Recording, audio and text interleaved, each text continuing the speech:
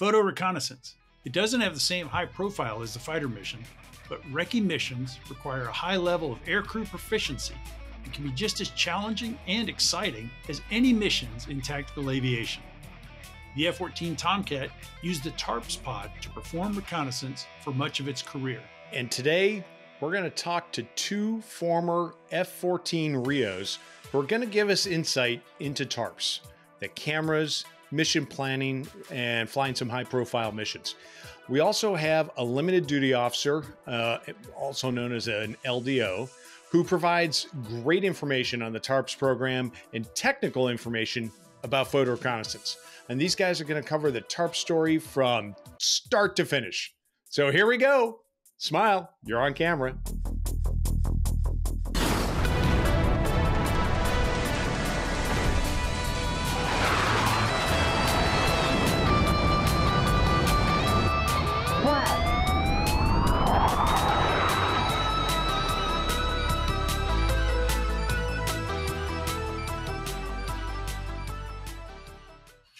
Welcome back to the F 14 Tomcast. I'm Dave Baranek, call sign bio. I was an F 14 Rio and Top Gun instructor. And today we're going to talk about TARPs. When the U.S. Navy retired its RA 5 Vigilantes in 1979 and RF 8 Crusaders in 1982, deployed carriers and active duty air wings lost their indigenous reconnaissance capability. Now, the Navy Reserve operated RF 8s until 1987. Anyway, as they had for decades, commanders valued the tactical reconnaissance capability and they wanted it to continue. Naval aviation leaders realized this and developed the TARPS podded reconnaissance system for the F 14 Tomcat. All right. And our three guests today were involved with various aspects of the TARPS program throughout the years. And we'll provide some exposure little little pun there for the tarps crowd uh, for this unique self escort reconnaissance capability. So we have our uh, our three guests today uh, arranged by height. Uh, we've got Dave Rooter Root, he was an F fourteen Rio in the initial tarps deployment. Al Kodak Tennyson, uh, who was uh, the the tarps officer in several squadrons, and Mike Santa Noel, F fourteen Rio, who's going to talk about digital tarps. So let's go through each one of our guests and just a nice introduction introduction, background of why they're the professional that they are. So let's start with Rooter. Uh, and from my from my point of view, you're in the top right corner of the Hollywood Squares today. So tell us, tell us, Rooter, uh, you know, where are you from? How you got commissioned? How you got into naval aviation? How you got into the F-14? Uh, I'm from the uh, San Francisco Bay Area, is where I grew up, East Bay. I did my undergrad at Berkeley at the NROTC unit there. Most people don't realize that was one of the first NROTC units, and its first CO was a guy named Chester W. Nimitz, who retired in Berkeley, and whose wife was still alive when I was a midshipman, so she'd come down and see us. Uh, out of that, I uh, went to flight school, mostly because my first class cruise was on a SSBN, and they got off of that and they said, "You want to go nuke power, or there's this flight school guarantee." That was not a hard choice. You know, uh, in flight school, I was mentored by a F4 Rio and ended up going West Coast at F14s. Uh, so that was around 1980 is when I got to Miramar. My first flight in the Tomcat was in April 1980. I flew for over 13 years in the Tomcat straight. I have a bit over 3,000 flight hours in the F 14, and I have 850 traps. My class was the first class that was tapped for going TARPs at the time. So a bunch of us, and they took about half the class and sent them to the East Coast. Uh, we had a lot of A5 and RF8 guys at the RAG as instructors, and that's who developed the TARP syllabus about teaching about aerial reconnaissance. Uh, so I ended up in VF 211 with some noteworthy people like Al Tennyson, who was who I relied on for the technical knowledge. And I flew tarps my whole time in the Tomcat. And uh, when I was on staff duty at ComFit and at the RAG, I was a tarps instructor uh, for a few times. So I had four fleet squadrons, a little unusual because one of them was VF 194 that only lasted a year. from that, I got dumped back in the rag for a while until they found a squadron for me to go to, which was 213.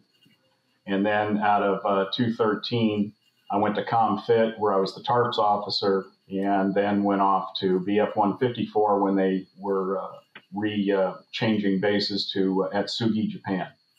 And I did TARPS there. Excellent. Awesome. Hey, and uh, Kodak, how about you? What uh, what's your background? How'd you uh, get into naval aviation, F-14s? What squadrons were you in? Okay. Uh, my name is Al Tennyson. I am from uh, Brooklyn, New York. I joined the Navy there at Floyd Bennett Field at uh, the age of 17. went to boot camp. My first ship was the USS Randolph, CVS 15 out of Norfolk. Uh, I got into the photo lab there. Uh, I, it's a long story, but anyway, I, I, went. I worked on the flight deck as a blue shirt, V V one division. I got transferred, luckily, uh, into uh, the photo lab, and uh, I thought I had no plans of staying in the Navy. I was uh, going to do my two year reserve and get out and have a little hobby. Uh, well, after my two years, I decided, well, this ain't so bad, and decided to stick around. So I reenlisted for Orders to Hawaii, which was a great tour for me. Uh, I got there as a third class and left as a first class uh, in three years. So uh, very enjoyable. Then I got to go to my first photo school. All these other, I made third and second and first right out of the book. Uh, B school was good. They sent me to C school, which was electronic systems, which was the F8 uh, camera control system, basically. Went into the little of the RA3, but uh, but basically the RF8. Uh, so after that, I went to uh, VFP 63, of course, out of Miramar. Uh, went into the camera repair section, did a lot of work on the pan cameras there, and some of the still, but mostly the pan, panoramic cameras. Uh, in let's see, I made chief in '76. I got my commission as an LDO in '78, and my skipper asked me, he said, "Hey, they're coming out with this system called TARPS. Uh, how would you like to to get involved with that?" And I said, well, it sounds interesting. So uh, I got orders after I went through the, the uh, commissioning school and down in Pensacola. Got orders to ComFit. There I was in the, the training department and we set up all the uh, training facilities and schedules for the enlisted classes. I helped develop the, the the number of PHs uh, that would go to each squadron. I had designated that the recon coordinator in each of the squadrons should be a warrant officer. Uh, at that time, unfortunately, the, my detailer for the warrant LDOs, he intermixed as didn't mean anything to him who did what. So it never did really work out that we got warrants where they were supposed to be. Uh, anyway, after ComFit, here he comes now. Tarps hasn't hit the fleet yet. And they kept waiting and waiting and waiting. And see, 111 was supposed to be the first squadron, and I was supposed to go to it. And I said, okay. Then they said, oh, no, not so fast. We slipped that schedule. Uh, then 211 was going to be and going to that, I said, okay, that's good. And he said, well, not so fast. VF 84 on the East Coast became the first deployable TARP squad. And I said, oh my God, I can just, I'm going east. I don't want to go east. I got a call from a buddy of mine that was in the vigilantes, and he said, hey, what can you tell me about TARPs? And I said, why do you want to know? He says, well, because they're asking me to go to VF 84. And I said, I tell you what, if you go to VF 84, I'll tell you anything you want to know and more. uh, so, anyway, he went to VF 84. I went to VF 211. So I was in VF 211 from 81 to 85. After that, doing doing TARPS missions in uh, in VF 211. yeah, okay, I was the I was the Work Center 240 branch officer. Yeah. Uh, later on, I became the AVWEPS division officer, uh, and that's all during that tour. Uh, next, I went to Naval Air Systems Command. Was that doing TARP stuff? D- yes, absolutely. I worked mm-hmm. for Jomo Thomas there, and uh, Dick Everett came in. He was he was my, one of my skippers in 211. He also became the what they call the Air 547 czar, and uh, so he headed up the reconnaissance outfit there in, in Navair. So after that, they were looking to fill a billet out on the West Coast. There was some problems, or some guy was leaving, and every and detailer, my detailer at that time, worked right across the hall from me. And he comes in and he says, Hey, I need a guy to go to VF 211. I said, You're kidding me. He said, No, why? I said, I won't have to change the patch on my flight jacket. so he said, You're kidding me. I said, No. So he said, You already had the coffee mug. That's it. You're gone. So I went back to VF 211 in 85 to 88. And then I was the AVWEPS division officer and became the AMO. Uh, so, so for all our listeners, the uh, you know we're division officers, the the officer in charge of you know could be av- you know aviation weapons, thinking avionics, like, like three or four electricians, yeah, yeah, things like that. So we're probably talking somewhere around 50, 60 sailors. And when you mentioned AMO, that's the assistant maintenance officer who's in charge of the administrative functions of the maintenance department. So please continue. Okay, I'm sorry. no, that's all right. We're just doing that for everybody so they know. All right, keep going. So uh, I've been around tarps since it first hit the fleet, basically. Uh, I did the OpEvals. I did the film processing on the OpEvals up at Point Mugu. I did the maintenance verification uh, tests uh, where we put up the guys did the maintenance and we timed it and and, and did all make sure everything all the T's were crossed, the I's were dotted, uh, things like that. So, been with tarps basically the whole time. Uh, all right. Well, great. And then uh, Santa, how about you? I'm a little intimidated by all Kodak's experience in tarps there, but uh, I didn't have quite so such a long run. But I uh, grew up in uh, suburb of Milwaukee, uh, soloed when I was 17. Wanted to wanted to go fly. Did not uh, did not have an aviation family, so uh, didn't really know I wanted to go to the Air Force. And then uh, senior year in high school, uh, one of my friend's older brothers was uh, BN going through BN school in Pensacola. So our parents let us uh, pile in one of the station wagons, and four of us knuckleheads went down to Pensacola for a week and uh, lived uh, slept on these guys' couch, and uh, uh, that's where I changed to the Navy. It was uh, they took us to the old club for brunch took us to Pensacola Beach. You're watching T-34s go over your head uh, all day long. I'm like, wow, this this seems pretty cool. So I went back and I'm trying to figure out what I'm going to do for college, and I wasn't real motivated in high school. So the academy wasn't an option. ROTC scholarship wasn't an option. So, uh, but they had this thing called college program, which you just uh, went to ROTC without a scholarship. You know, wore the uniform, did all that stuff. Didn't get any money uh, and then I, I, picked up a two year scholarship and uh, then went off to flight school. Um, I got to uh, VT 10, and uh, when we checked in, Commander Jensen, I can remember his name, uh, skipper of VT 10, said, Anybody that graduates Commodore's list is going to get his first choice. So I thought, well, that's a pretty good deal. And we went through the school and we got to the end, and there was no F 14 slots and the A6 was going away. I, I, don't think they even had an A6 slot. So it was either S3s or A6Bs.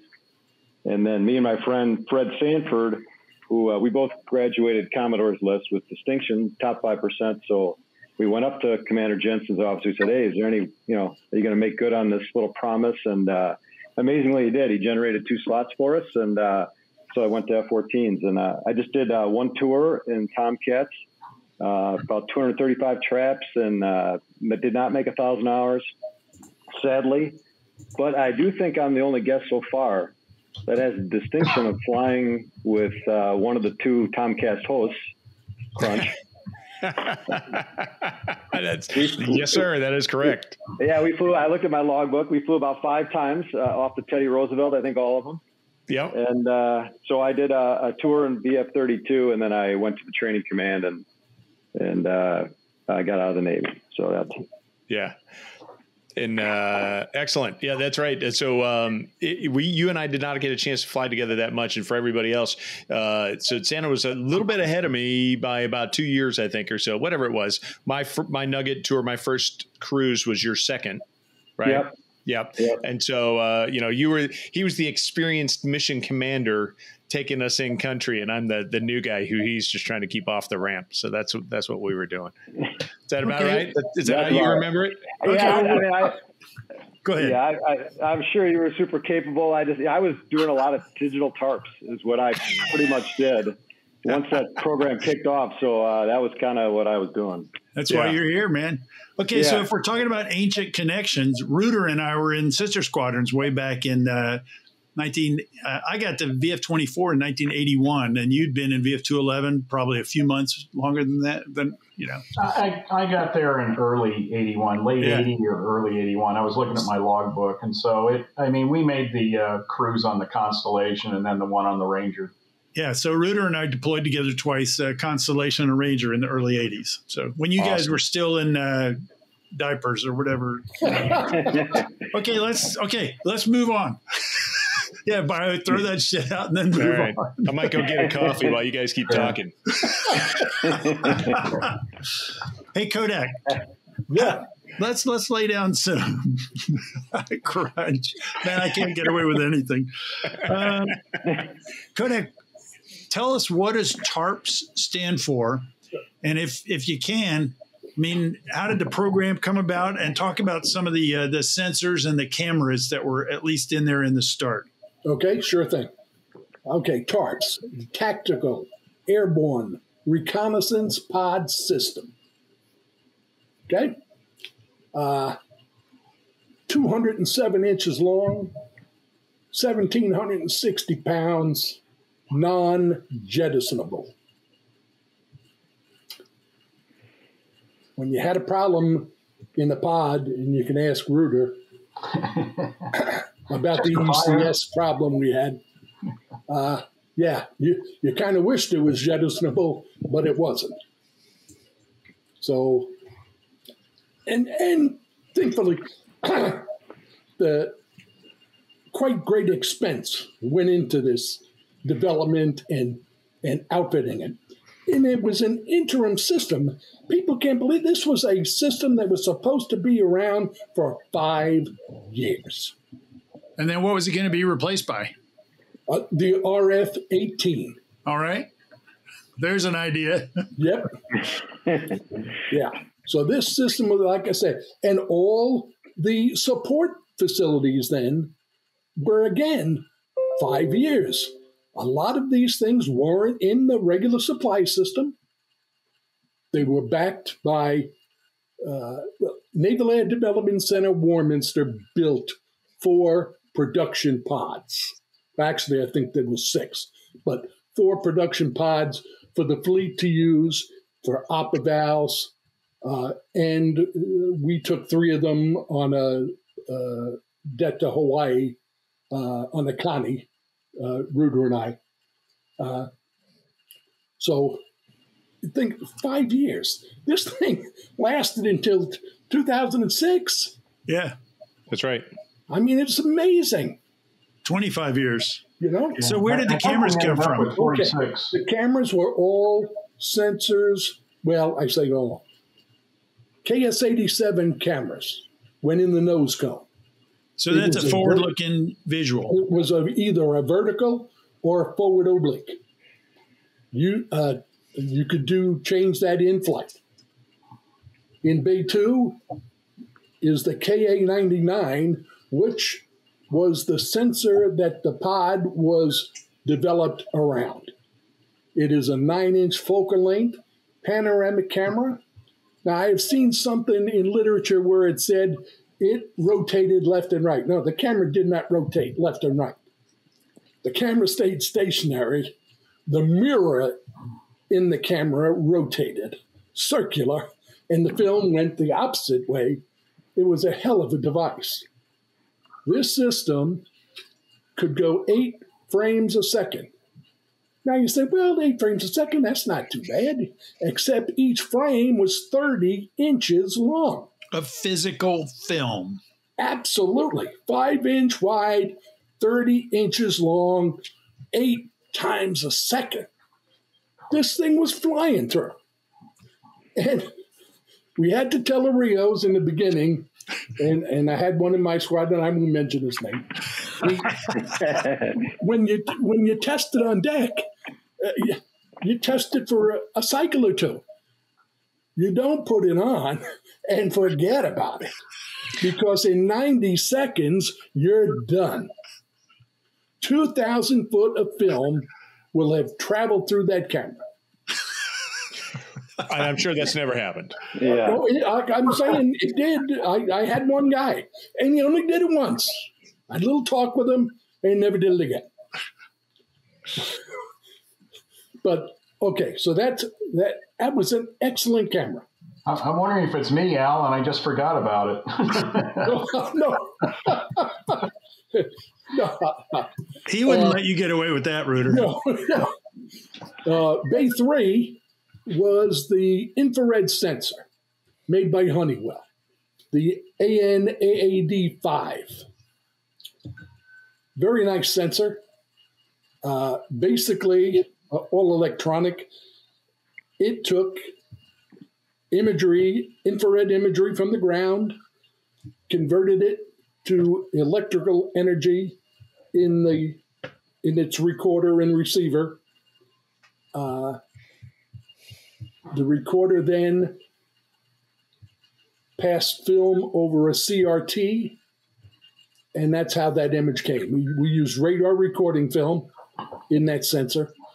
Uh, it, it- we used it as a mission trace. It was a beautiful sensor for that. What, what is And- explain what that explain what that means? What is a mission trace? A mission trace is you could start that camera in the beginning of your run and leave it on. It would, I mean, the the, the speed of this, it, it really, I mean, inches per second, uh, you know, so it, really didn't uh, use a lot of film. I only had a 250 foot capability. Uh, But that helped you in the post flight when you were developing and trying to figure out where everything was because now you had the whole the, trace I, of the the mission. ISs didn't do And did that. I I didn't do that. I was in Well, charge of with them. the processing. Yeah. But uh, after that, uh, hey, all hands were off. Yeah. My hands were off. Yeah. So, okay, so those were the three sensors. Later on, we decided we needed a standoff capability. That nine inch pan uh, didn't do the trick. So they came out, we had the KS 153s. Now, it went in Bay 2 instead of the 99. It could also, it then could be rotatable. It could do vertical, it could do left oblique, it could do right oblique. Most of the time, you wanted to do left oblique because if you were flying with tanks, the left was further away. Good point. Because the pod was on the right side of the jet. So yeah. Yeah, so you could get a better, uh, a little better angle. Okay, you could go out a little further. Otherwise, on the right side, the starboard tank cut off a lot of that view. Okay, then they decided, hey, we need a little more. So they dug out the KS 90, KA 93. Uh, this was this the KA 93 was a Chicago aerial sensor or camera, just like the uh, KS 87. 36 inch focal length. Oh, Now it mounted, you couldn't rotate this baby. This was put in, and and that was it. You could either put it in left, you could put it in right, and there again, you wanted to put it in left, oblique, uh, and then it didn't rotate. And what was it? Which camera was that? That was the KA ninety three. The KA ninety three, which replaced the middle camera, the one fifty three, the KA ninety nine. Uh, yeah, well, yeah, but uh, yeah, we only had two of them. Well, well, when I say replace, I mean in the pod where it was installed. Oh, it yes, was yeah, it went in bay two. Yeah. Same thing. The one fifty three replaced the the ninety nine in You bay mean two the, also. the Navy only had two KA 93 cameras? That is correct. awesome. They cross decked them babies all over. Wow. I don't remember ever flying with those. Santa, did we ever fly with those? You know better than I do. we not, not that I remember, and I don't even remember flying with the IR camera. I thought we were mostly KS 153. Um, that we didn't use that much. I mean, we were primarily looking at the uh, panoramic camera. Okay, We, you said we you didn't. all our, our You don't remember the IR camera? I, I, I'm sure it might have been installed, but I remember having the KS Oh yeah, no, it, 153 in there. it was bay three. It was always there. oh, yeah. It Well, never it must be it didn't come out for anything. Huh. Yeah. Interesting. And it had other uses besides mission trace that was valuable that people didn't Well, that, realize. I mean, you could get imagery if you were going over. You wanted to see if, if something was hot. That's what this IR sensor did. It could pick out difference in in temperatures. So if you were going ah, uh, electric plant, coal power plant, something heat stacks. I mean, it would show you which are hot and which are cold.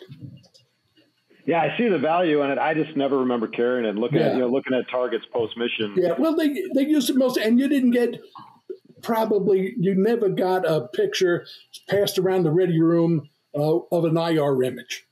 you know, they they passed around pan imagery, they passed around uh, still photos from the from the either one of the 153s or the or the KS87. But yeah, you you didn't get passed around the IR. You know, we'll we'll pull up a uh, an IR image example from uh, the internet and put it on the yeah. video and Good. Oh, put it on you know We while we're just lay talking. that right over. Yeah.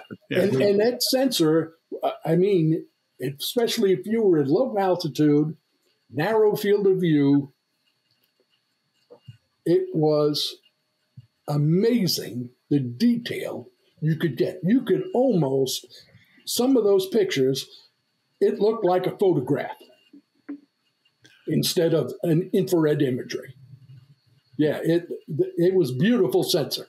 Yeah, we, we I- I used really it did a great to uh, tell what sort of aircraft had been on a ramp because the aircraft, when they were sitting there, it was shaded underneath where the rest of the ramp was hot. So you could Oh, actually tell if it was an F4 or an F14 that had been sitting there on the ramp. Yep. The other thing that we used it for, people didn't realize, is that if you had tanks of whether petroleum or uh, water liquid, is the tank would have different temperatures depending on what the level of the liquid was. So we could Yeah. tell if a tank was empty or if it was half full or uh, partially full. Absolutely That's- correct. That's a good point. Yeah, that's a great point. So, um, so Rooter, you know, uh, it, it- great, great discussion here. So, going going back, you were in that first fleet TARP squadron, right? Yeah. How, how did you get how did you get involved in the TARPS mission? I mean, were you selected for that, or is that something that everybody did? How'd that work in your squadron? There was a lot of involuntary selections. there, was, there, there was a feeling around the Tomcat community, and some of it came from the regular F8 guys, that all the Tomcat should be doing is fighter missions. And so they took about half of my rag class, uh, the guys who had some experience and some who didn't, and they said, You guys are all going TARPs because we have the first deployments going out on the East Coast and going on the West Coast. And so, guys that I went through the rag with is, you know, half a dozen of them went through the TARPS training and they ended up going East Coast. And then there was some of us uh, that ended up going West Coast. Some of them were obvious choices because we had uh, uh, RA5C, uh, you know, backseaters, what do they call them, RANs. Uh, guys like Chris Christensen. Whose Uh, call sign was VC for, for VC, Vicky yeah, Clown. for Vicky, yeah. and, and we had Mike Kramer, who was a RF8 guy. And so he came in, and then otherwise we had uh, Kevin Saxon, who was uh, Surgrad out of the training command, uh, Matt Laskowski, myself. Uh, I was trying to remember some of the others, talking to Al and, and going back and looking through my book. Uh, effectively, once we got to the fleet, you you weren't just set with TARPS guys unless it was a very important mission. Is we cross pollinated a lot. So I got selected. Uh, it was about 20 more flights in the RAG at the time. That was how the syllabus was set up. Uh, there was classroom study to understand uh, film and you know photography, of things like why you use different colored uh, filters. Uh, about what resolution is. That was something that you know people say that, but what do they really mean? And what it meant to us was how uh, far apart two objects could be before you could tell they were two ar- objects. And so that was all a uh, factor of the type of film you were using, the focal length of the camera, and how far away you were. And so what made it different than the regular fighter guys is that more went into mission planning. You just didn't kick the tires and strap in and light the fires and go off and take pictures. A lot of times you had to look at things like the time of day. So, which is things people didn't look at, and also the time of day is you you know you didn't want to be taking pictures with the sun looking down the uh, uh, camera. Uh, as Al said, we would normally practice when we were doing oblique photos, mostly with the KA99 at first, and uh, out the left side. And so the biggest thing we didn't have in the F14 was a viewfinder. You had to basically estimate where the camera was looking by looking over the nose or looking over the uh, rail of the canopy. And so I remember the rail of the canopy, if I stood up straight, and I'm 6'2, is that was about 45 degree oblique. And I would go up like about a, you know, a handful, and I had a grease pencil, and I would mark that on the canopy, and that was 30 degrees. Mm-hmm. And, and that was stuff that we learned from the older guys too. The A5 guys had a viewfinder. But if you ever looked at a picture of an A5 Vigilante, they were in the back with little tiny windows. You know, and we were still a fighter. Yeah and, and we were still a fighter. So that was one of those problems we had at first is you don't want to go over bad guy country and not have your area radar working. But in TARPS mode, the radar would depress and it would give you a uh, above ground measurement, which was estimated. And otherwise, I'm trying to remember where the uh, above ground came from. If we had to input that, Al, or did that come from the radar altimeter? I don't remember. I think it came from the from the radar altimeter. Okay. That, you know, so you had to be careful of that because you got up too high and the radar altimeter was useless. So we had to uh, uh, plan that stuff. And so a little bit more went into planning, especially if you were doing a low level, is uh, I was trained to don't trust the guy who left all the markings on the charts. so, so I did a lot of, uh, you know, maps or charts for the flights to make sure we had them. Uh, so you went in and it, it, was closer to the bombing guys. You'd have a initial point that you would fly to, and then you would uh, we would even mark cameras on and cameras off, especially for the KA99 because it whipped through the film so bad. yeah. Uh, so you so, had uh, you had twenty well one about making your own charts. I mean that's a great way to get familiarization for the the mission. So yeah. you know, you, you really don't want to take somebody else's chart or, you know, anyway. Well, I mean, sometimes for guys who were doing combat over Lebanon, they had to because the uh, uh, tempo was so fast that they said, okay, we're going to fly this same route, which is sort of like from lessons learned from Vietnam is dumb. Got it. I mean, one of the guys that we had uh, in the RAG with us was Paul Ringwood. Yeah. He flew RF 8s in Vietnam and he was shot down flying RF 8s, but he was rescued but he, you know, they were flying against, uh, oh, what was it called? The Dragon's Tooth, a bridge up in North Vietnam. Dragon's Jaw, they, yeah. Yeah, yeah, they tried for years to drop it, and then they'd send in the recce guy, usually an hour exactly after they dropped the bombs. And guess who's waiting for you? And they're all pissed off because you dropped bombs on them. And so, uh, you know, that was sort of the lessons we learned uh, for doing that you know, you can't go in and right afterwards after they drop bombs and do BDA because bomb damage assessment because all this stuff's up in the air. Yep. So your RAG syllabus was about 20 flights. So Santa, you and that was in the early 80s. Santa, you came along in the 90s. How much training did you get for tarps? I I got zero training in the rag. Uh, okay. I came out and my yeah my first pilot was a uh, uh, Pat Hags Haggerty was a big reconnaissance guy, and uh, I just started flying missions with him and helping him with planning, and uh, that's what I learned. We we our we never did a lot of low level tarps because what's I think Rooter's talking about with the charts. Um, we were limited to ten thousand feet AGL in country, and that we were both doing Southern Watch in Bosnia, both of my mm-hmm. cruises, and doing a lot of you know real world tarps out there, and it was all above ten thousand feet. Um, but yeah, we were just learned on the learned on the fly. Uh, learned on my first cruise. The, the syllabus was compressed later on when I was a RAG instructor and I was one of the TARPS instructors, and it was down to twelve. Yeah, that's what I got when I came through. when I came through in '88, were you in the RAG in '88? You might have been there. Yeah, yeah, I, I was. I, I was in the through. rag when I went through Top Gun, and you picked on me in Top Gun, and then you came to the rag, so I got to get payback. So, thanks, brother. Buddy's only half a word. So. no, That's I remember. I, I, remember the tarps training. So Santa, you missed some good training. I mean, it's too bad they did that because the, uh, I mean, the classroom was one, and like Rooter said, they told you all this great technical stuff, but we got a dozen extra flights, and they were great flights uh, back then. And as an instructor, you name a low level route in Southern California and Arizona and Nevada, and I flew it a lot.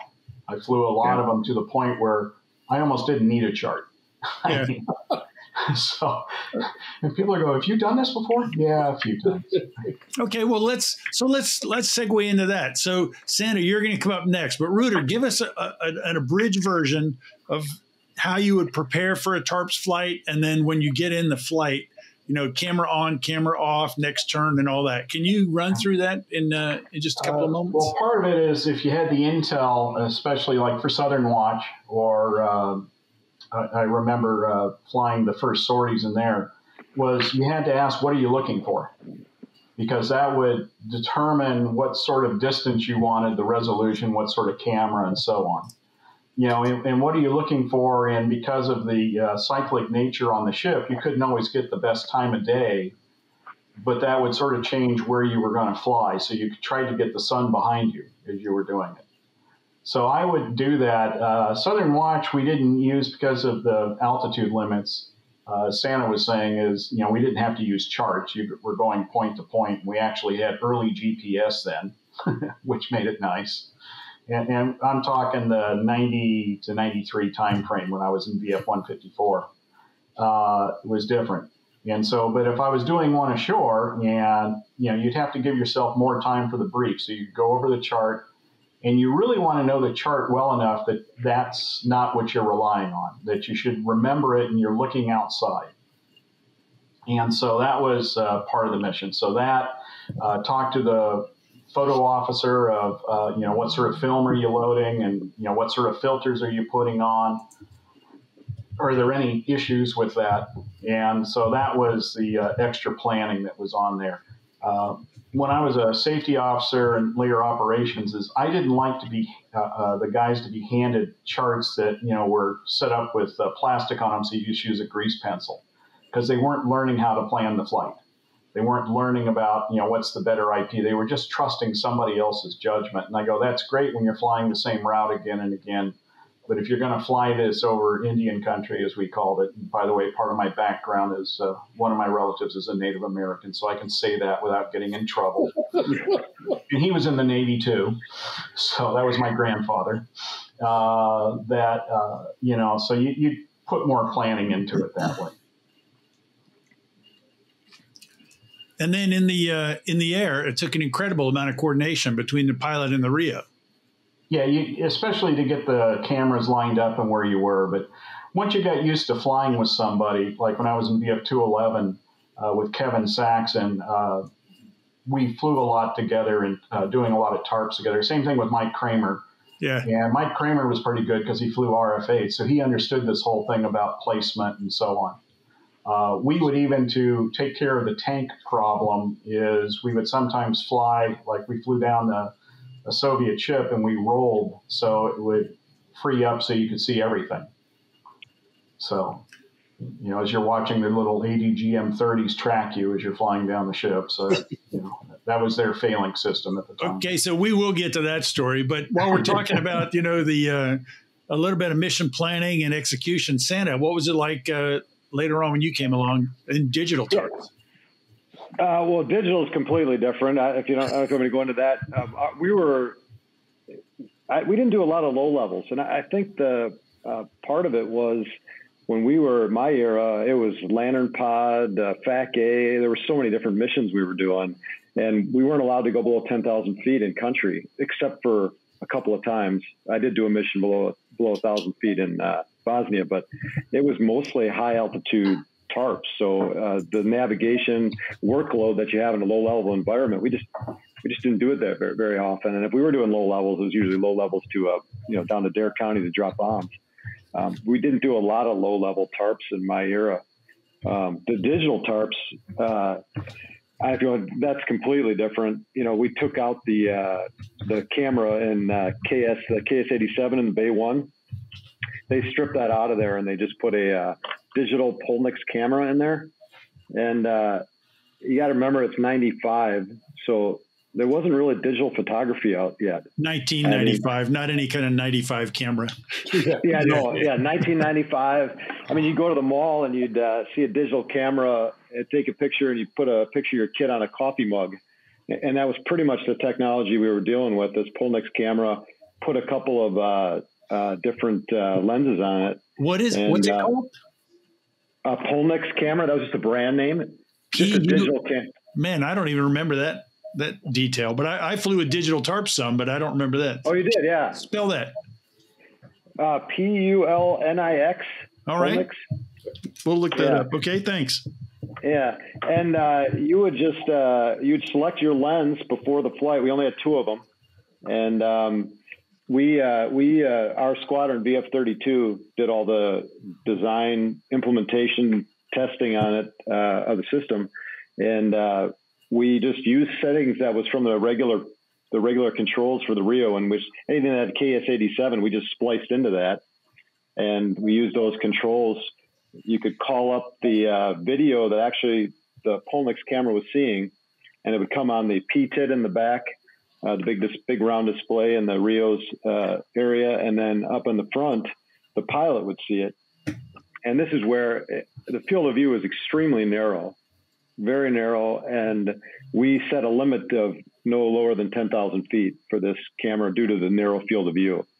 Uh, why we didn't play around with wider, wider field of view cameras, I'm not sure. I don't remember. But uh, the hard part and, and the part that uh, was extremely difficult to use is the the camera was fixed, so the pilot would have to fly the target into the field, the very narrow field of view, and then the Rio would snap the picture, and uh, then they would the snapped picture would appear on our screens, and then you could decide if you wanted to transmit it off or not. Um, so it was supposed to be a proof of concept demonstrator. I think in theory at the time it wasn't really designed for it to go out to the fleet as, hey, this is a great thing, because it was very difficult to use. Uh, Crunch, did you you flew some digital tarps? Didn't you? I did, and, and as you talk about it, I remember you because uh, you know my display in the front was a lot smaller, right? Because it was on the HSD, which is what six inches by nine inches or so, and it's down there between your legs, behind the stick, right? and so you're looking down at this thing, trying to line it up, and as you said, you got to fly over the target, and you and I'd be sitting there, and you're like, "Hey, here it is," and I don't see it, and so the only way to find it was to wag your wings. And so you'd be sitting there wagging your wings, hoping that you would fly over this thing, be like, "Oh, there it is," and then you'd you'd you'd lock your wings and kick some top rudder and snap a picture or something. I mean, I remember having a, it was like looking through a soda straw. It was really hard. Santa, what year was that? So that was 95. I, uh, kind of how I got into it was kind of, I think, an interesting story. Um, they, uh, they came up with the idea. then they had this digital con- digital tarps planning conference in DC. And they wanted a guy from our squadron to go that had a lot of tarps experience. Um, I just came back from my first cruise, uh, Lieutenant JG, and that was back in the Clinton era, 95, when they shut down the government for a couple weeks. And they weren't going to give him a hotel or give him a rental car or anything to go up there. So he said, I'm not going to go. And I, I think I was sitting around the ready room when this conversation went on. I said, Well, I'll go up there. My, my uh, aunt and uncle live in Alexandria, Virginia. I'll go. So uh, I drove up there and uh, I show up for this digital TARPS planning meeting. And the sole purpose of, the, of this meeting was to get uh, fleet input on the digital TARP system. And uh, I get into this room. There's about 20 people around this big table. and uh, engineers all flown in for this to get fleet input, and uh, it was me. I'm the fleet input, 25 uh, year old, you know, Lieutenant JG. So uh, I think it started off, and they were kind of looking around like, uh, should we even do this or not? But they kind of rolled it out, and I told them what I thought about it, and they they they said all right, and they asked me to help with a guy that was writing a test plan for the system so I did that. He wasn't. Uh, I really wasn't liking the direction he was going. He hadn't done any tarps. So uh, me and a guy from our squadron, uh, Dave Bizelon Biz, uh, was a test pilot Rio. Um, he helped me write the test plan. So we wrote a, a developmental test plan for it, submitted it, and uh, PMA 241 said, "Yeah, let's do yours." And uh, so as kind of so they uh, they just gave it to us. The engineers showed up, and it was uh, our IWT guys. You know, me. Um, IWT our, uh, Integrated Weapons Team. Yeah, Integrated Weapons Team, and the uh, IW uh, the uh, TARPS guys, and we're all trying to figure out how to wire this thing into the airplane. And it, it was it was the first time I really understood why we had trouble tuning missiles and stuff like that. I'm a mostly an F-14A guy we're pulling these uh, wire bundles out and they're just you know the coating on all the wires is not looking that great. And we're trying to find wires that'll actually connect places. So uh, but we we did that all in house uh, which is kind of what they did with uh, LANTIRN i think which oh yeah. yeah right yes. And we, we got yeah, a LANTIRN story coming up a LANTIRN episode coming up so. Yeah and that'd be great. And that that kind of paved the way for this was a fleet operational eval where we did it all in house um, we did the D developmental testing, and then we operationally tested it in Fallon, and then we took it on its first cruise. And we developed the whole thing, went from kind of concept to strapping it on the airplane and uh, and tested in six months. Um, but the uh, nice job. Yeah, it was it was a great uh, win for our squadron. The uh, the thing, the capability, I think that was really impressive, which was not the you know digital pictures that we were taking, although they were, you know, nice resolution. It was the ability to transmit it off the airplane. So, uh, you know, we're flying over targets, and I remember taking out to Fallon. The SEALs are attacking a building, and we're just overhead, and we're just giving them, you know, every five minutes we're rolling in, taking a picture, and then transmitting it to a ground-based station. And there they can upload it to, you know, all the intel stuff and have it pretty much all over the world, you know, as you're still flying. Yep. Which how were we transmitting that? I don't remember. Was that with Rover or was that I, I, how no, did we transmit it? No, no. This was this was a uh, uh, you know a hatchet job kind of. We were using I think the mode four something in the mode four would allow it to do some sort of handshake with the ground based receiving station. So we were just taking you know single images and transmitting them, and it would. Uh, it took a just, while you know, to transmit it took a long time. It took, you know, two minutes an image. But and, it worked. Uh, it, it did work. And at the time, I mean, it, it was, it was, everybody was extremely excited about this. You know, the people in Pentagon could be getting an image for an F 14 that's flying over in country. Well, Santa, um, I'm glad so you talked you talked about that transmitting because we used when I was in 211 in uh, 97, 98 flying Southern Watch, we used digital tarps and all the time, and it worked. So yeah, I mean, we also we, use uh, regular. We also use regular film tarps, but we had some digital. And that's what we did. We flew it with uh, digital day one, and we still use our, you know, the the other sensors as we were flying. But uh, you know, if they primarily wanted to get the images while we were flying, that was that was what we were doing. And you know, it was supposed to be a proof of concept. That's what I, I feel bad as a guy that was involved in it that the fleet got it because I'm sure most of the guys at the fleet went, what the heck are we doing? this is impossible. That was fine.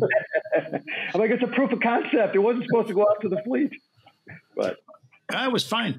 Okay, one more thing, um, Crunch. Let me have one more question before we get yeah. too far away. I want Rooter to tell the story of the uh, of the Soviet ship because Rooter, you know this. I was in 24 back at the time, and we are going, "What's all this tarp stuff?" And when you guys did that Soviet ship flight, you guys were in the spotlight and the heroes, and we're you know. So got, got, a lot of people excited at the time. Yeah, go ahead. We, we weren't flying much at the time. We were supposed to have what three port calls in Australia, and then the uh, the barracks in Lebanon blew up, and so we were told to hang around the uh, the Indian Ocean again a little bit longer, go up by other stuff. Yep. At the time, the Soviets had launched their newest carrier, which was the Novorossiysk. It, it had been launched like the year before, and it had come to the Pacific, and it was down off of, I believe it was Socotra Island. And where we were hanging around uh, on the Ranger was a thousand miles away. And so they came to us and they said, okay, uh, we want you to go down there and take some pictures of it. And at the time, uh, you know, I guess I was the more senior TARPS guy for experience. Uh, it was my second deployment. And so I got Kevin Saxon, who I was uh, with. And so we set this up to fly a thousand miles. Uh, and so it's a thousand miles there, 15 minutes of taking pictures, and a thousand miles back. So we needed some tanking, and there was no uh, non organic tanking available.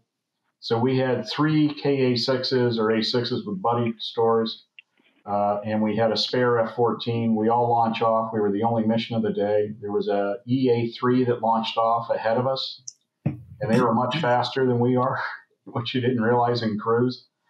And so we basically, uh, at 200 miles, the one KA6 topped off the other two. And then uh, at about 400 miles, uh, we topped off and the A6s topped off. And, uh, and then we were good to go. I think uh, we went out to 600 miles and we uh, topped off at the last KA6 who turned around and went home.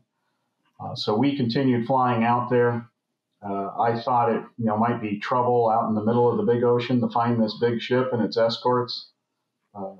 Wasn't that big of a trouble because one of the escorts was a Kynda cruiser, and when it locked onto us with its SAM-3 system, we just had to follow our ALR 4550 strobe into, into the battle so, so we descended down, and um, they also launched a couple of Yak 36s to intercept us.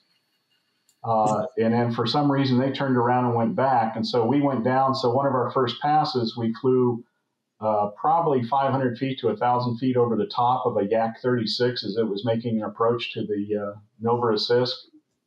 And that got people excited because it was the first time they'd seen pictures of inside the cockpit. So, uh, and then we flew sometimes around it. Like I said, they knew we were there. You know, they we'd have the little strobes on the ALR 45, our uh, radar warning receiver. Uh, you'd see the ADGM 30s. Uh, uh, their failing system would be tracking you as you're flying along the ship. And so we did that for about 15 minutes while the EA3 was collecting ELINT. And then we headed back. And so it was I think almost a it was like seven hour mission is what it turned into. Uh, we got back; it was supposed to be ready deck. Of course, this was the Ranger, and so that was a that that wasn't quite true when we got back. We were a little low on gas, but we had planned it so we you know be there at uh, you know about two thousand pounds left. Except we got there and they said, "Well, your signal is to hold overhead." but, but I know Al was involved in others that once we trapped and they got that film out of there, there was a lot of activity going on. And, and the better TARPS crews, as I found, and the way I trained them, is that you want to go there and you want to see the film when it first comes out because it helps you critique yourself about where you were and stuff. And we had some pretty good imagery of that, of running whether it was the Ad 5, of where the hot spots on the deck of the Novorossiysk, of uh, the 99 of whether it was directly overhead or if it was an oblique shot in the 87 also. Uh, and especially the uh, 87, I think, is what we use looking down into the uh, uh, Yak 36 Forager and the 99. So Al was there. There were a lot of people in the. we had ISs in the squadron, so we had more troopers than a regular intelligence specialists. Yeah, IS intelligence specialists, and there were some that were trained for uh, looking at photos, basically, of doing that. Yeah, but Al remembers. I don't think there was uh, any free space in the uh, lab at the time. Where there, there yeah, were, it got crowded. Yeah, and you know the admiral comes in, and you know captain of the ship, and all that, and so, and, and then we uh, debriefed it. But that was probably the most exciting mission I had. That people were, it got a lot of attention. It, it, I, I do want to say that people don't realize when the TARPS concept came out TARP squadrons were supposed to get extra air crew and they were supposed to get extra money for training. Well, we all know how that went. I mean, we had extra troopers, we had air crew that were trained, and now we had, you know, you have your SORT, your status of resources and training, and the TARPS guys were supposed to have a minimum amount of training. Well, that wasn't fair because we were going to get more flight hours than others. And so, I mean, that's just how it went. And so it, it did work that way out the, when Southern Watch started because I was uh, one of the designated TARPS crews. So I flew more because they were worried about what we were getting for imagery. And we got some pretty sad stuff there of what Saddam was doing to the people in the Delta. Uh, but so I ended up flying more than probably a lot of my peers there. But overall, most people, as we ended up cross pollinating, so everybody got TARPS qual, so nobody got upset that they weren't flying, you know, all the missions available.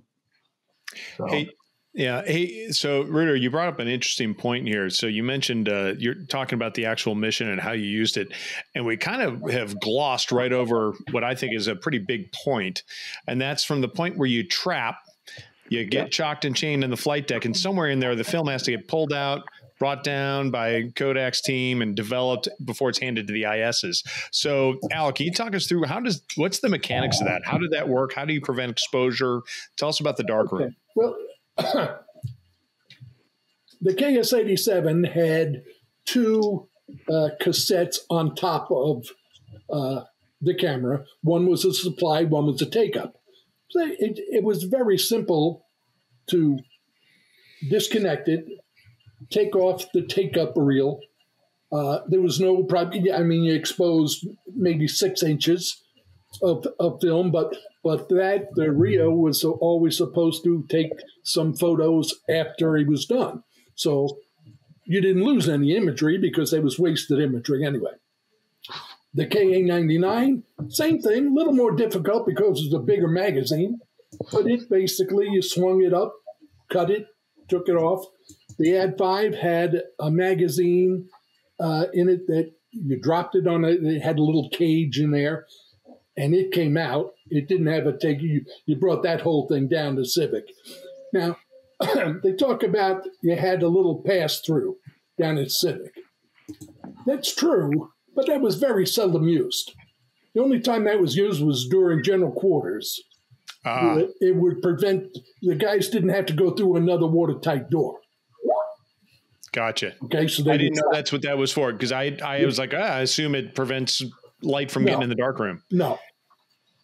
Uh, so anyway, so so basically they they come in through the front door of CVIC, bring the bring it back to us, you know. Gotcha. And and, and there we go.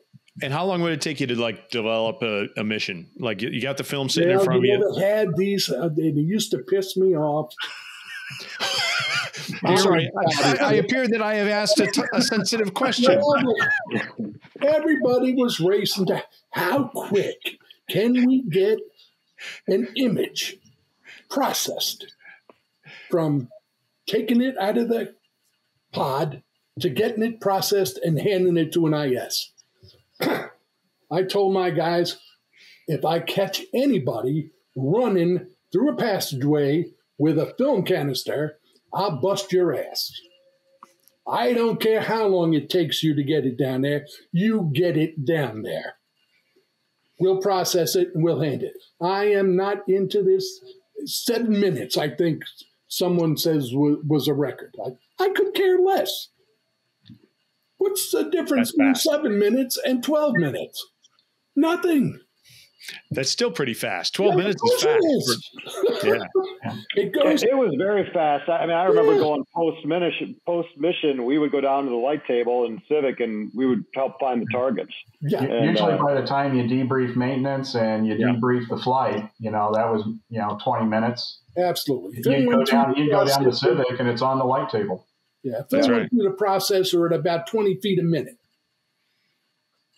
Okay, and it took about two and a half minutes to, from the when you put it in the front end, in the dark end, I should say, of the uh, EH38 processor till it came out, and you took it up on the reel, and you you could see because we had uh, lights at the end of the processors, so as the film came off, came down, and was rounding, you know, winding up, you could look at the film.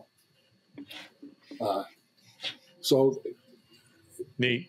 Yeah. With, now, were the were the were the cameras really reliable? Like, I mean, you might have this like high uh, high visibility mission. Yep. You send off one airplane, the other one goes down, or whatever. I mean, are you confident you're going to get the images? Yeah. The, the problem existed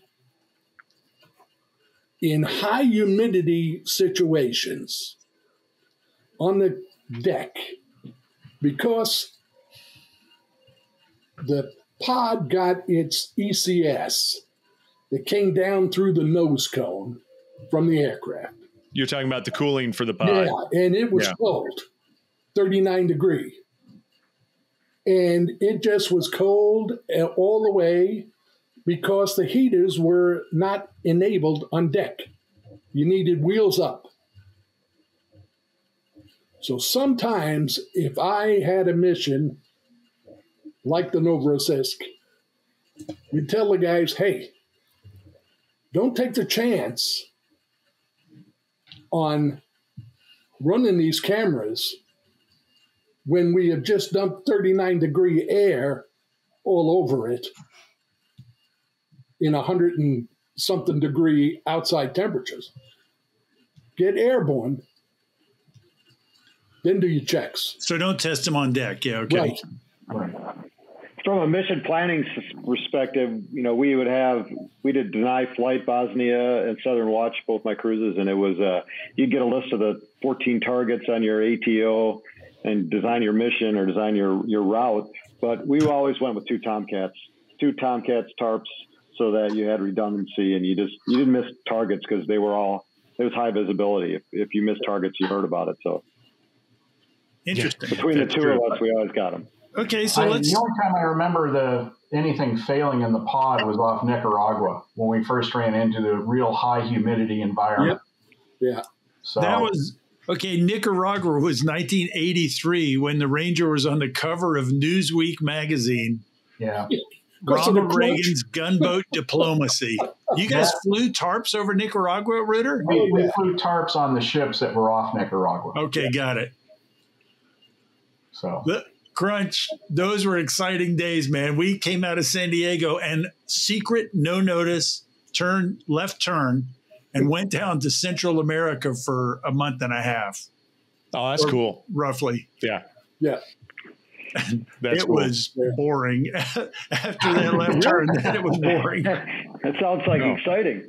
Yeah, I see anything that you say secret mission, I'm like, yeah, it's exciting. No, it's, it's okay. So you guys have already you guys already talked about we had intelligence specialists to analyze the film, and then the air crew sometimes went in and, and looked at it also. I, so I would do it every time.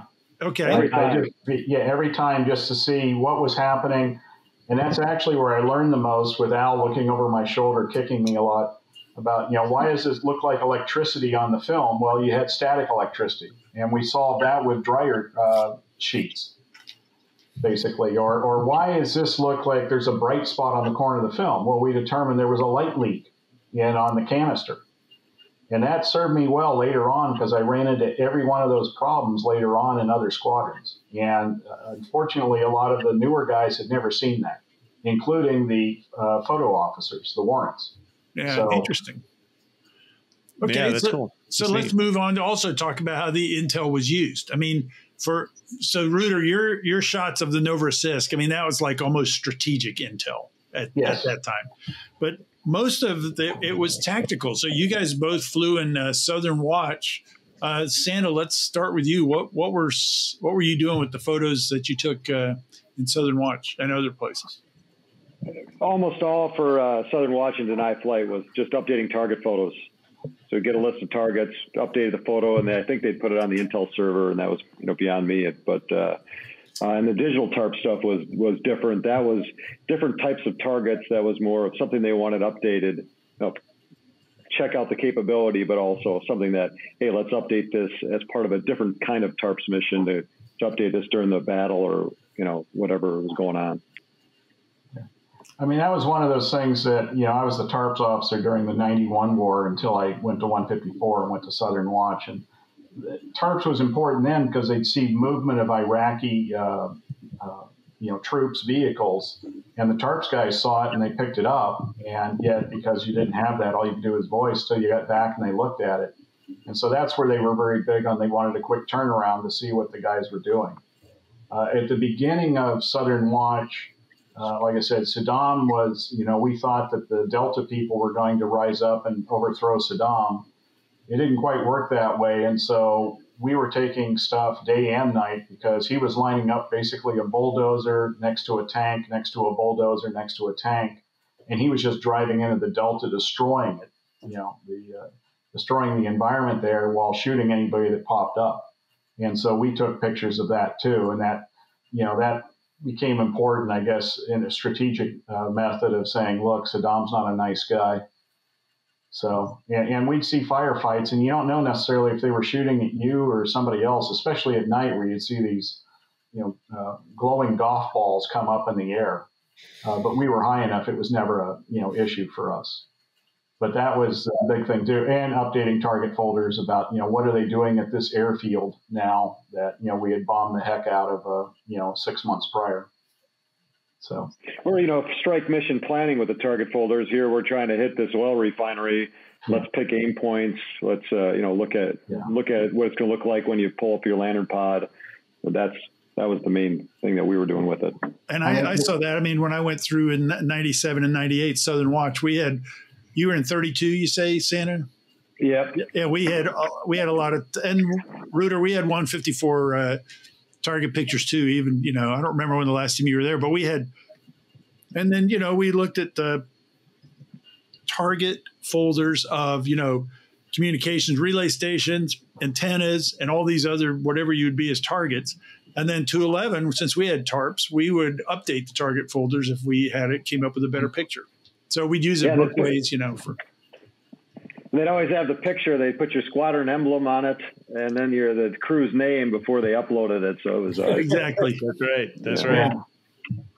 Okay, so let's go back to the old days, Rooter. Rooter. Well, I mean, I, I remember back that far. I was there too. No, tell us about the uh, recce derbies because uh, I remember hearing about that. Also, I, I remember Tomcats uh, competing against RF4s and uh, other platforms. Were you involved in some of those?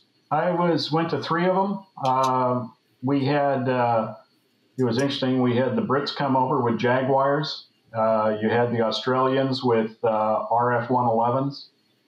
Uh, the Germans came with RF 4s. But the first one that I went to, I, I believe it was 84, the summer of 84. 86. Uh, VF 211. What was it? 86. Now, we did one when I was in 80 and uh, 84 because it was up in Fallon. Oh, that was okay. That wasn't a recce derby. Okay. okay. What do they call that? I don't I don't know what they call that. the recce derbies were all down at Bergstrom. Yeah, and I did two of those, but they had one in uh, 90.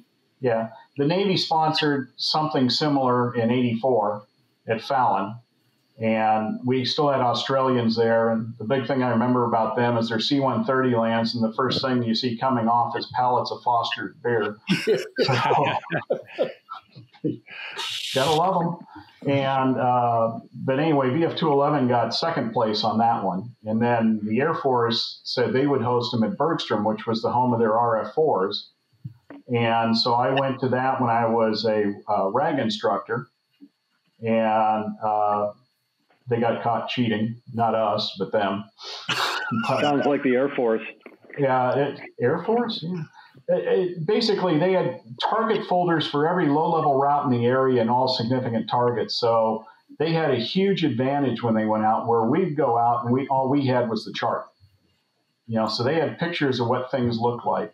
But anyway, we didn't do as well there uh, compared to others. Uh, I uh, uh there's a famous uh, from that rally. If you look up uh, F-14 refueling accidents, there's a camouflaged F 14, and I was in the back of it where we tanked off a KC 10 and hit the, uh, they say we hit it a little hard, but it was no harder than I remember hitting a like KA 6 or anything. And it sent a sine wave up the hose, and it came back, ripped off the hose, dumped raw gas in our right intake, and blew up our right engine. I've seen that video. That's you? That's me in the back seat. Chris Quinn is in the front seat. All right. Yeah, that was that was a fun time. because the ramps, it, it, disintegrated, I think, the number two ramp. And so the other ramps fell down in front of the engine. So you didn't have any windmilling or anything. That's the air inlet ramps for the audience. The, yeah, the ramps they, in the in the intake, yeah, like you said. You have three of them, but they come down like this to uh, so you can go supersonic.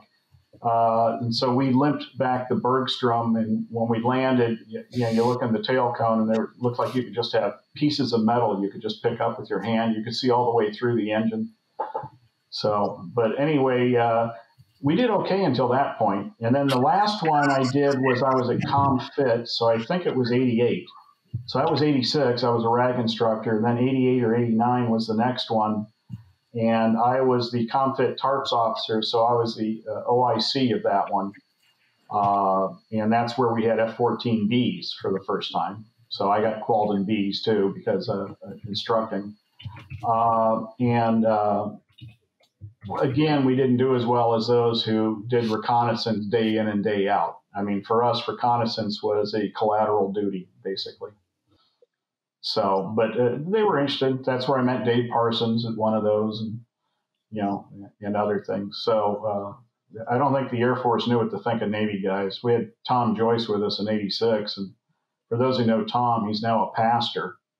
But he wanted to get beer cans, empty them out, and put water in them, and have us walk out to the planes and you know take a swig out of the beer can, crush it, and throw it on the ramp.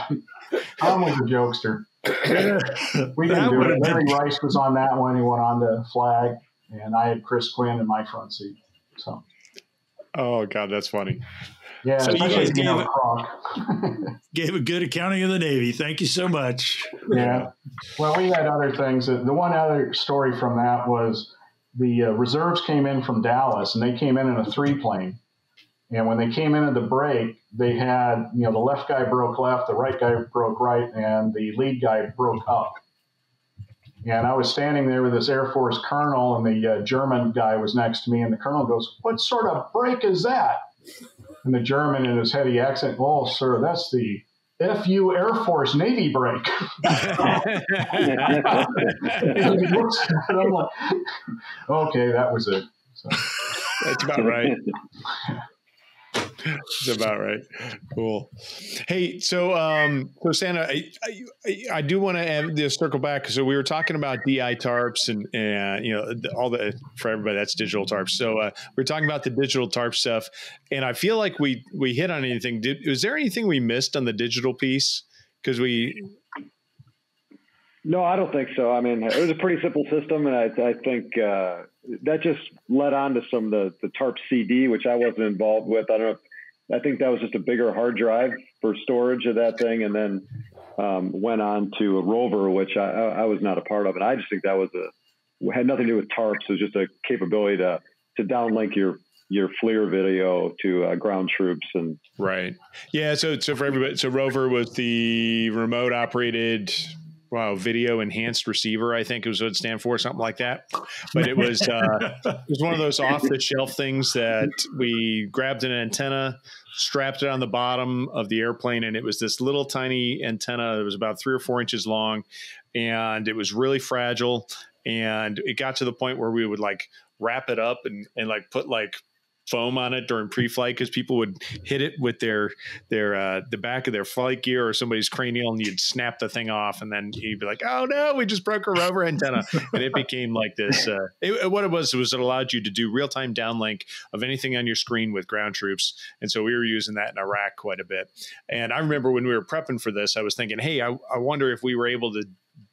do I remember you know we were talking about sending DI tarps pictures and I was thinking do we do that through Rover and I think the answer was no because the time's off, you know, because Rover was 2005, 2006, and DI Tarps was 10 years earlier. So, uh, yep. I lose track. You know, it's been a couple years since then. I forget. But uh, Rover was a cool thing. Tarp CD, I don't remember. Refresh me on Tarp CD. I just think it was a added, uh, like a bigger hard drive in the pod. I, am not really sure exactly how that worked, but it just you could store video from the Pulnix camera as opposed to you know just a single shot. Ah, interesting. Oh, okay. Because I remember at one point it went to a PCMCIA card. Was that TARP that CD? Was us. Yeah, that was ours. The PCM, you know, that was way way back. Not very much storage capability, and that's what all the pictures in our day, in my day, uh, yeah. were captured on, and then you could pull that out. So you'd have the pictures afterward, even the ones you didn't choose to send over the radio. Right. Okay. And where was that card? Was that in the pod or was that in the cockpit? No, that was in the pod. It was in the pod. Yeah, he'd have to pull it out of the pod right near. I'm sure it was right near the Pulnix camera there in the in Bay One. Yeah. Gotcha. Things I don't remember because uh, you know. It's interesting how they made those incremental uh, and technical improvements, but they helped. You know, they made the system more useful. Various reasons. Yeah, it's great hey, stuff. Like I say, we started out with four pods. I think we ended up with 46 total. Oh, that's good. That's good perspective. 48. 48 total. And from what I remember, because I was asked that at ComFit, is we never lost one. We lost TARPS airplanes, but we never lost a pod. Wow. I remember. Unless Al, do you remember any? I I believe we lost one in uh, 211. No, no, that was I was on the TARPS airplane and you guys had downloaded the pod. That was my accident that I left it in the ocean. So didn't it have a pod on it? No, sir. It did not have a pod on it that night. So all right. Al doesn't believe you. I can see it on his face. Well, he, he's called me a liar my whole career. He, so he's, he's, the fire. What? That was the fire. fire. The fire at that time, the, the only time I had a pod fire was in 154, and that's when they had the heating elements were bad.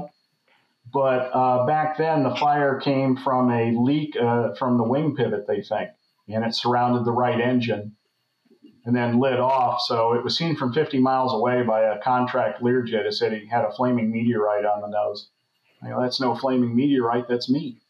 So So what did your wingman? What did your wingman say to you, Rooter? oh, the wingman said, "You're either an afterburner or you're on fire."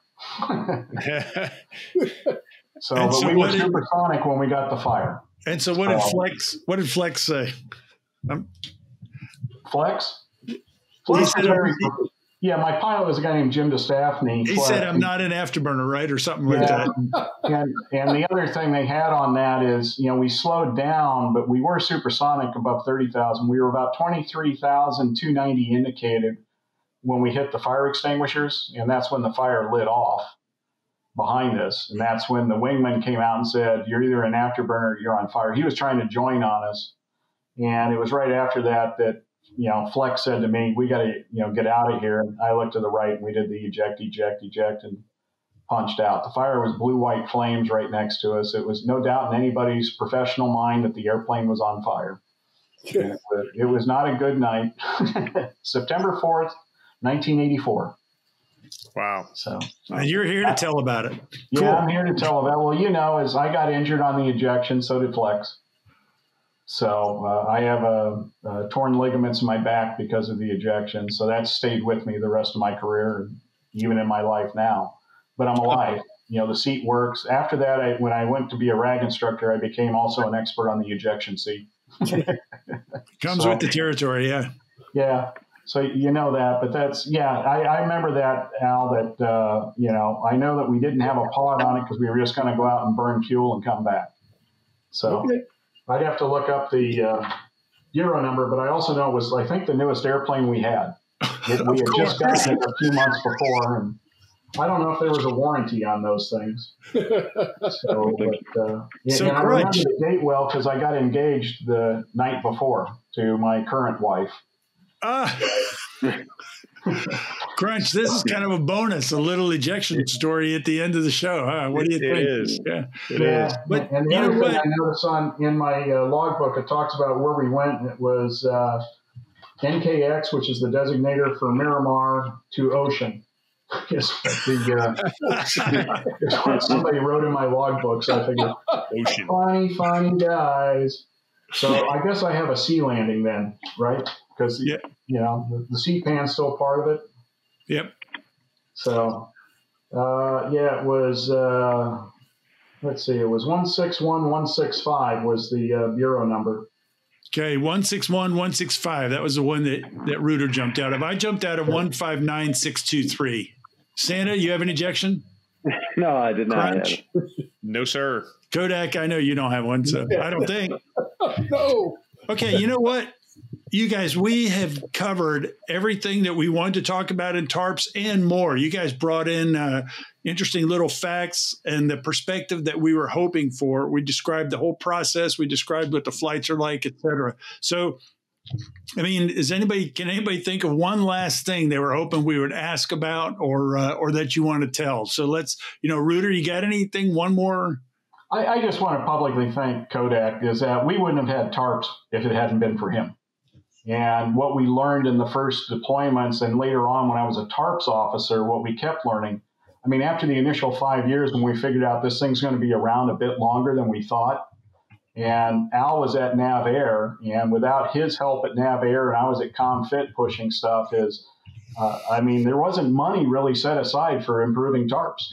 I mean, it was supposed to be gone. It was supposed to go to the uh, F 18, was supposed to get their Advanced Tactical Air Reconnaissance System, ATARS and that was supposed to fit up in the nose where the gun was, and that kept getting pushed and pushed and pushed. And as you know, we had tarps until the very end of the Tomcat. So uh, it, it, worked there. People don't realize, and we didn't really mention, is that to fly tarps, you had to have counterweight in the forward uh, missile rail. So you either had two dummy Sparrows, oh, good point, 500 pounds each, or you had two Phoenix rails, which is what you had most of the time on deployment. So you had another thousand pounds there. And there were a lot of people in early TARPs, the uh, pilots and RIOs, who didn't want to do it. They thought it was, you know, made you a second class citizen. And yet by the 91 war, they realized that this is probably one of the missions you want to be involved with. It was exciting and to do stuff there.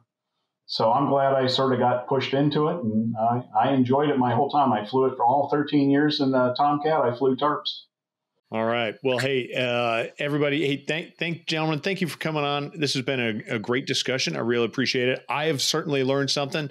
Uh, you know, uh, Al, I could tell that you are a fountain of knowledge. That uh, you were just spouting stuff off there through this whole discussion. That I'm like, wow, that's he he knows a lot of stuff there. You, you know, it was really good. So, and uh, it's been it's been great. Rooter, Santa, it's great having both of you guys on. I appreciate the uh, the Thank experience you. that we guys bring to this and the discussion where we talk about everything from the very beginning all the way to the very end with the implementation of the digital system. So, everybody, thank you very much, and uh, thanks for joining the F14 Tomcast. Wow, that was great. I loved how Kodak provided a lot of background that you normally wouldn't get if you were just talking to aviators. It was also really interesting to hear about how technology changed over the years. Yeah, I agree, Bio. You know, it's I, I always love hearing flying stories like from Rooter and Santa there, but I I enjoyed hearing from Kodak talk about the film processing and the professionalism of the people who are behind the scenes. Really reflects on the professionalism of every everybody who's involved in naval aviation. Be sure to come back for our next episode, F 14D Combat Systems with Commander Fun Malay.